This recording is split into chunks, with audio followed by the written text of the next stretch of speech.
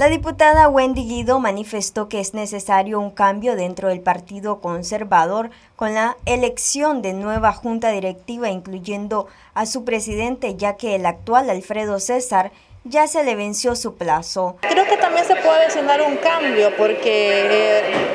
si ya muy bien Alfredo está un poco ya en el tiempo de ser presidente, ya está vencido, creo que también puede haber un, relevo de poder elegir a un nuevo presidente, a las nuevas autoridades de junta directiva del partido y sería una oportunidad porque atraería, por supuesto, a todo ese sector de jóvenes que quieren y que quieren seguir con un partido de trayectoria, de principios, de valores y con hombres y mujeres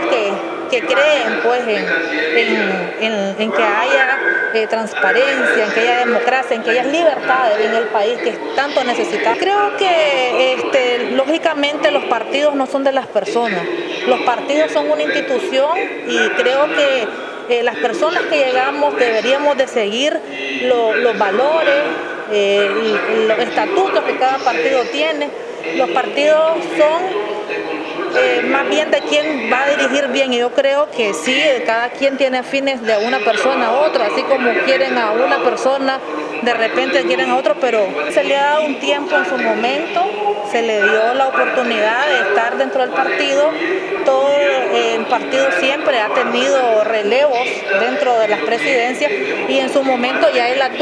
ya estoy, y yo creo que es un momento de que dentro de esta actual situación de que se está presentando podría hacerse cambios importantes como es la dirigencia presidencia del partido. Guido afirma que a como se le puede entregar la personería jurídica al Partido Conservador en este mes de julio puede que no, pero esperan tenerla en las elecciones municipales. Podría ser para las siguientes municipales, pero para este momento no.